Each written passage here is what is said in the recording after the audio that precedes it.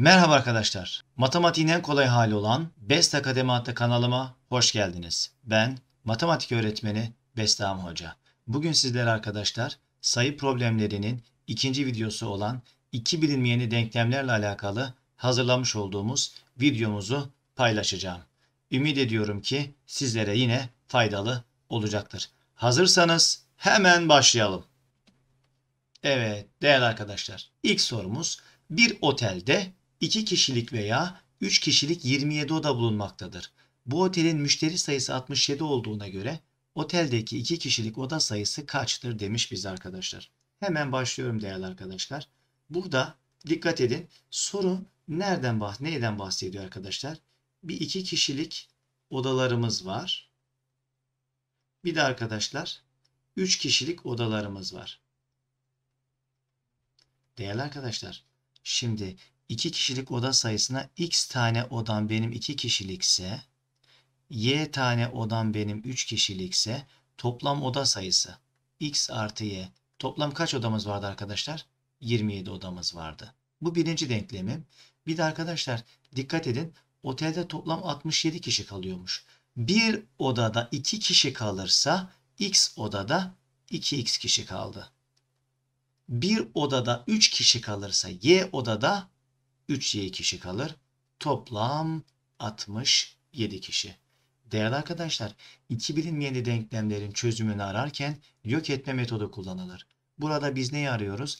2 kişilik oda sayısını arıyoruz. 2 kişilik oda sayısını arıyorsam x'i arıyorum. O zaman y'den kurtulmamız lazım. Arkadaşlar yok etme metodunun mantığı burası 3 olduğundan yukarıyı eksi 3 ile çarpmalıyım. Eksi 3 ile çarptığımızda eksi 3x eksi 3y eksi 81 oldu.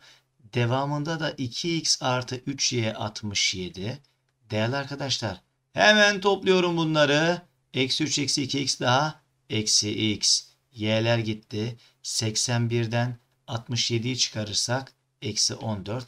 Eksiye böldüğümüzde x eşittir 14 diyoruz değerli arkadaşlar. Şu anda iki bilinmeyeni denklemleri arkadaşlar yok etme metoduyla çözdüm. Bir bilinmeyeni çözümü de var. Bunu daha sonraki videolarımızda sizlerle paylaşacağız. Hemen ikinci soruma geçiyorum. Bakın bize yine ne der?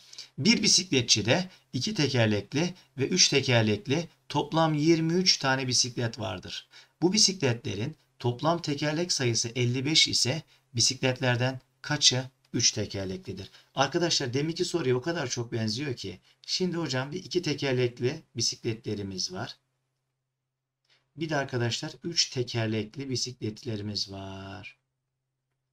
Değerli arkadaşlar toplam eğer x tanesini 2 tekerlekli dersem y tanesine de 3 tekerlekli diyorum.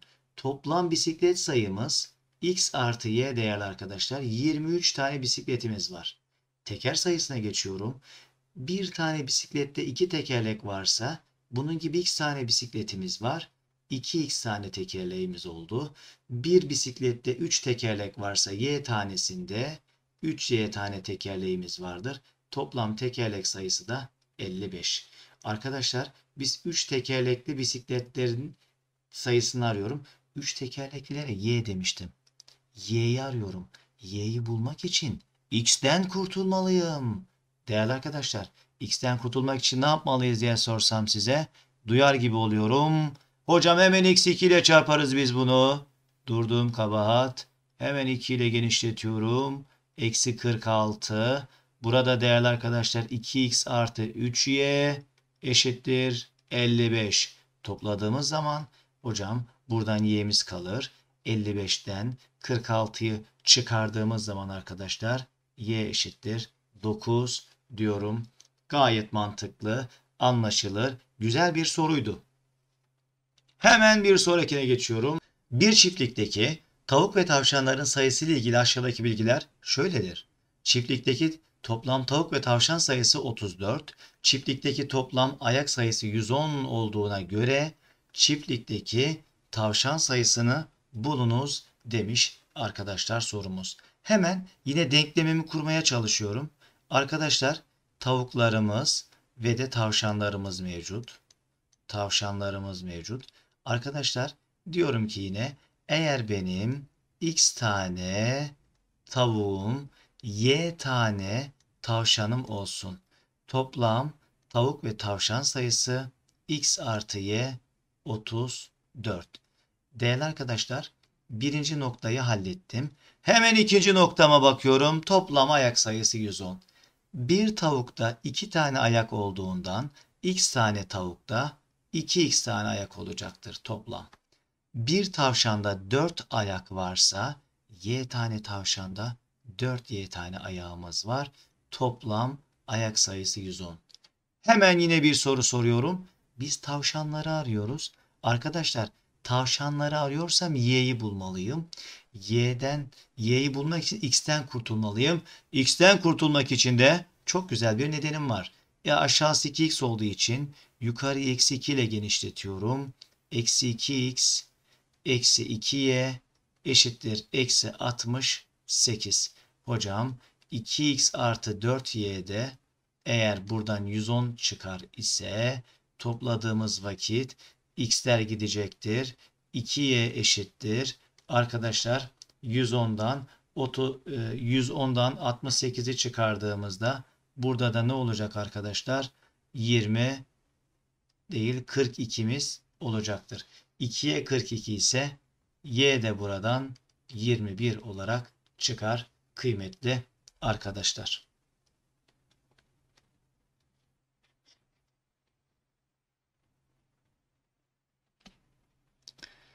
Hemen bir sonraki sorumuz. Yavuz 20 günlük bir ders çalışma programında bazı günler 6 saat, bazı günler 8 saat ders çalışmıştır. Yavuz 20 günlük programın sonunda toplam 134 saat ders çalıştığına göre kaç gün 8 saat ders çalışmıştır? Hemen arkadaşlar hemen denklemimi kuruyorum hemen. 20 günlük bir programımız var. Bazı günler 6 saat çalışmışız. Bazı günler 8 saat çalışmışız. Kıymetli arkadaşlar hemen x gün 6 saat çalışsın. Y gün 8 saat çalışsın. Toplam kaç günümüz vardı? 20 gün. X artı Y 20 günde çalıştığımız programımız böyle. Bir günde 6 saat çalışırsam X günde 6x saat çalıştım. Bir günde 8 saat çalışırsam Y günde 8 y çalıştım. Toplam 134 e, saatimiz vardı. Değerli arkadaşlar biz 8 saat arıyoruz. 8 saat dediğimiz y idi. y'yi bulmak için x'ten kurtulmamız lazım. Yine x'ten kurtulmak için yukarıya arkadaşlar eksi 6 ile genişletiyorum. Eksi 6x eksi 6y eşittir eksi 120. Hemen altındaki denklemimi yazıyorum. 8y eşittir 134. Hemen topladım. Hocam burada 2y kalır. Burada kaç kalır? 134'ten 120'yi çıkardım. Buradan da 14 kalır. 2'ye 14 ise y'miz arkadaşlar 7 olarak çıkar diyoruz. Yine gayet anlaşılır. Güzel bir soruydu. Hemen bir sonrakine geçiyorum değerli arkadaşlar. Hemen sorumuza başlıyorum. İçerisinde üçgen ve beşgenlerden oluşan x tane çokgenin olduğu bir kutunun içindeki üçgen sayısı 4 ise kutunun içindeki kenar sayısını veren denklemi bulunuz. Değerli arkadaşlar demiştim ki iki bilinmeyeni sorularda biz genelde şu anda ben yok etmeyi anlattım size. Yok etme metodunu anlattım. Tek bilinmeyeni de çözebilirdik. Bu soruyu da ona bir parantez olsun diye sorduğum sorulardan bir tanesi. Dikkat edin bir üçgenlerimiz var. Bir de arkadaşlar beşgenlerimiz var. Bize diyor ki bunlardan dört tane üçgenimiz var. Değerli arkadaşlar toplam x tane çokgenim vardı. Bunlardan dört tanesi üçgense geriye kalanlar yani x eksi dört tanesi de beşgen olacaktır. Tek bilinmeyen kullanıyorum. Bakın şu anda hep x üzerinden gidiyorum şu anda. Y falan kullanmadım bunda. Evet bize ne diyor? Kutunun içindeki kenar sayısını veren denklem. Değerli arkadaşlar bir üçgende 3 tane kenar varsa 4 tane üçgende 3 çarpı 4 tane kenarımız vardır. Bir beşgende 5 tane kenar varsa bunun gibi x eksi 4 tane var. 5 çarpı x eksi 4 diyorum. Bunu arıyorum arkadaşlar. Dikkat. 3 çarpı 4 12'miz var bir. Bir de beşgenlerden dolayı burada bir dağılma özelliği yaptığım vakit 5x eksi 20. Bunu düzenlersem arkadaşlar 5x 12'den de 20 çıkarsa eksi 8. Arkadaşlar bu kutunun içinde kenar sayısını veren x'e bağlı denklemimiz de bu şekilde hesaplanır. Hemen bir sonrakine geçiyorum. Evet arkadaşlar. Yeni nesil bir soruyla karşınızdayız. Hemen sorumuzu okuyalım. Bir takımdaki basketbolcuların yapmış olduğu her başarılı atışın puan değeri 1, 2 ve 3 puandır. Bu basketbolcuların toplam başarılı atış sayısı 75 olup puan değeri ise 160'tır. Buna göre 3 puanlık atış sayısı en çok kaç olabilir? Matematik problemlerinde en önemli soru kalıplarından biridir.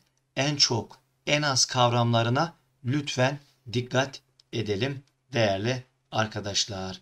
Hemen başlayalım soruya. Değerli arkadaşlar, bir sayılık atışlarımız var. Değeri iki sayı olan atışlarımız var. Bir de değeri 3 sayı olan atışlarımız var.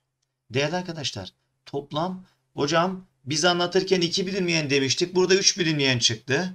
Arkadaşlar, bizim amacımız zaten akla kapı aralamak. Araladığımız kapıdan siz girebildiğiniz kadar girme eğiliminde olacaksınız. 3 bilinmeyen var diye küsüp gitmiyor arkadaş. A tane tek sayılık atışımız olsun. B tane ikili katışımız olsun. C tane de üçlü katışımız. Toplam atış, başarılı atış, basket sayımız 75 idi. Ve bunların puanı da 160 arkadaş ya. Bir sayılıktan A tane attım A puan aldım ha. İki sayılıklardan 2B, 3 sayılıklardan da 3C kadar puan topladım. Ve ederi 160 puan. Benim aradığım şey 3 puan en çok kaç olabilir diyor arkadaşlar. 3 puan. 3 puanlar ben C'yi arıyorum. Arkadaşlar burada 3 tane bilinmeyen var. Hemen bir tanesinden kurtulmalıyım. Kimden kurtulalım? Hocam A'dan kurtulmak daha kolay gibi duruyor. Ben burayı bir eksiyle çarpsam. Hemen şuraya alta yazayım arkadaşlar. Eksiyle çarpınca eksi A, eksi B, eksi C eşittir. Eksi 75. Hemen altına diğerini yazdım. 2B artı 3C eşittir 160. Kıymetli arkadaşlar topla bunları. A'lar gider. B artı 2C eşittir. Ne oldu kıymetli arkadaşlar? 160'tan 75 çıkarırsam 85 olur. Burada küçük bir yoruma ihtiyacım var. Ben C'nin en büyük olmasını istiyorum. O zaman B'nin en az olması gerekir. B en az olacaksa arkadaşlar hocam ben B'ye 0 diyemem. Bakın buraya 0 deseydim 85 2'ye bölünmezdi. O zaman buraya ben 1 diyorum. 2C'ye o zaman 84 kaldı. 84'ü de 2'ye bölersem 84'ü de 2'ye bölersem C'mize de arkadaşlar 42 atış kalır. En fazla diyoruz. Bu da bu kadardı değerli arkadaşlar. Evet arkadaşlar çok güzel ÖSYM tadında yeni nesil güzel bir soruyla yine birlikteyiz. Hemen sorumuzu okuyorum. Salih çizmiş olduğu resimlerin bazılarını yatay, bazılarını dikey olarak bir ipe asmak ister. Yeteri kadar mandal olmadığından yan yana olan resimlerin mandallarını ortak olacak şekilde asıyor. Yatay ve dikey olarak astığı resimlerin sayılarını eşit olduğunu biliyoruz ve yataylara 3 mandal, dikeylere de 2 mandal kullanmış. Toplam kullandığı mandal sayısı 76 ise bu şekildeki toplam resim sayısını arıyoruz. Arkadaşlar hemen başlıyorum. Önce amacım yataylar için kaç mandal kullandığımı bulmak. Arkadaşlar yataylar için birinci yatay için 1, 2, 3 mandal kullandım. Hocam ikinci yatay için bakın bu ortak 1, 2 tane kullandım. Diğer yatay için şu ortak 1, 2 tane kullandım. Buradan payıma düşen şey ilk yatay için 3 mandal kullanırken bundan sonraki yataylar için ikişer tane yatay için mandal kullanıyorum. Arkadaşlar yatayların bittiği yerde Son yatayımızı da astık buraya. Yanına bir tane dikey koydum. Arkadaşlar bakın bu ortak. Dikeyler için iki mandal kullanıyordum. Bir tanesi ortak olduğu için ben ekstradan bir tane daha mandal kullandım buraya. Hocam diğer dikey için bunda da bu ortak. O zaman bir tane de buna ortak kullandım. Bunun için bu ortak. Buna kullandım. Aa dikkat edin. O zaman dikeyler için ekstradan bir tane bunun için. Bir tane bunun için. Bir tane bunun için kullanıyorum. Süper. O zaman arkadaşlar dikkat edin. Dikey resim sayısı ile yatay resim sayısı birbirine eşitti. Hemen başlıyorum dikkat. Birinci yatay için 3 tane kullanmıştım. Üçümü yazdım. Bundan sonraki her bir yatay için 2 tane mandal kullanıyordum. X tane yatayım vardı. Birini kenara koydum. Bunun gibi x eksi 1 tane kaldı. Ve bunlar için ikişer tane mandal kullandım. Artı. Hocam her dikey için bir tane kullanmıştım. X tane dikey var elimde. X tane de bunun için kullandım. Ve toplam mandal sayısı 76. Bu denklemi düzenlediğim zaman dağılma özelliğimi yaparım. X'imizi ilave ediyorum buna. Ne oldu arkadaşlar? 3x artı 1 76 ise 1'i karşıya at. 3x 75 ise x eşittir 25. Değerli arkadaşlar 25 tane yatay resim, 25 tane dikey resim toplam kullandığımız resim sayımızda 50 olarak çıkar. Mükemmel bir soruydu arkadaşlar. Evet arkadaşlar harika. Yeni nesil ÖSYM tadında bir soruyla yine birlikteyiz. Hemen okuyorum sorumu. İki katlı bir deponun girişinde bulunan o güne ait saat ve hangi katta kaç kutuluk boş yer olduğunu gösteren tabelalar bulunmaktadır.